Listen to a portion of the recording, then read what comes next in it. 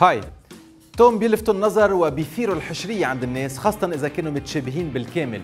بس حتى التوم المتطابقين ما بيملكوا زيت بصمة الأصابع حتى لو كانوا بيتشاركوا نفس الدي إن اي 25% من التوائم المتطابقين بينموا بمواجهة بعضهم وبيصيروا انعكاس لبعض مثل مراية فبيكون واحد منهم عسراوي والثاني بيستعمل إيد اليمين وممكن يكون عندهم علامات على جسمهم بجوانب عكس بعضها.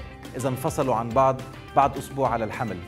إمكانية إنه يكونوا اثنين إخوة توم كل واحد من بي صعبة بس واردة والنساء يلي مهيئين طبيعيا ليولدوا توائم بيعيشوا عادة أكثر من غيرهم.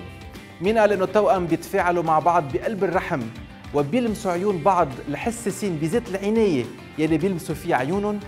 أنا قال بشوفكم بكرة.